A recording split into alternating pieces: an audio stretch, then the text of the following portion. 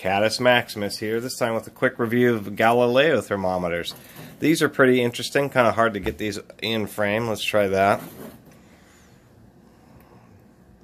There we go. Let's not knock them over. These are pretty neat. They've been around for a long time, hence the term Galileo thermometers. They're real basic. They work on buoyancy. And basically, as a fluid heats up, it expands.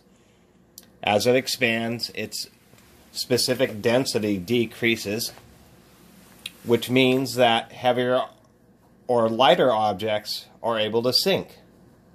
That's the easiest way to explain it. Kind of like how foam is denser than solid plastic when it comes to fluids. As they heat up, they become quote unquote less solid, which means it's easier for things to sink into them each of these spheres. I don't. I believe they're all filled with the same liquid, just colored differently. And the little weights that are hung from them all weigh a little bit. I should say more. So the heaviest one's at the bottom, the lightest weight is at the top. So as this heats up, each sphere with a slightly heavier weight will fall as the volume of water increases. And so it goes by four degree increments. You have 64, 68, 72, uh, 76, and 80 degrees. And you know, you know it's more than 80 degrees if all the balls are down, and colder than 64 degrees if all the spheres are up. Uh, these tend to be glass. They make them in all sorts of different sizes. Here's a little desktop size one. This one's about a foot tall, um, and they come even bigger than that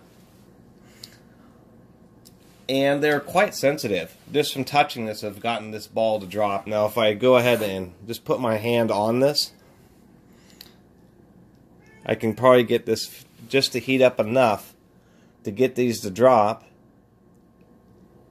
or at least getting another one to drop, just from the heat that I can see. I can get the yellow one to start going down. What's interesting is because it's the sensitivity is incredible um, because you can get a sphere that is just like partially falling or like right at the equilibrium limit.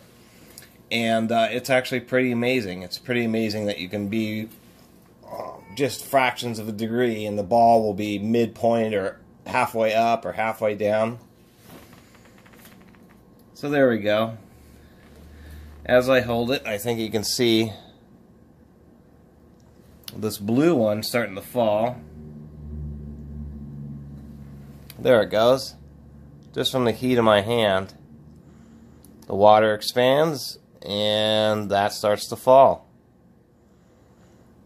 And so that's generally how these work. They're kind of neat. They can be made in any kind of shape or size. There's all sorts of artistic versions of these, not just these vertical cylinders.